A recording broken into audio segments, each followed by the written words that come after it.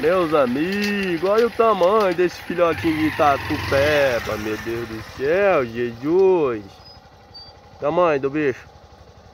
Certeza algum bicho predou a mãe dele ou o carro matou, que aqui sempre tem esses acidentes, olha, tá morto de fome, inocente. Tamanho, Jesus. Ela tá magrinho. Tá magrinho o bichinho. Esse daqui vai morrer. Brabo, insetinho. É porque eu vou pro serviço. Se, se eu fosse pra casa, eu ia levar esse inocente pra tentar recuperar ele. Porque ele tá feio, hein? Zé, parece que a dele tá quebrada. Não, é, é, é magro, pô. Ah, é magro, né? Ô, Jesus. bravo, Zé. Eu sou é brabo, papai. Ó, ó. Aí já tá nossa condição bem magra, ó. É um macho, tem até o aqui. Provavelmente esse daqui não vai escapar, não. Algum bicho predou a mãe dele. Deve ter sido os carros que pra atropelou ela. Hum? Ela vai pé pra piscina, tá? Aqui.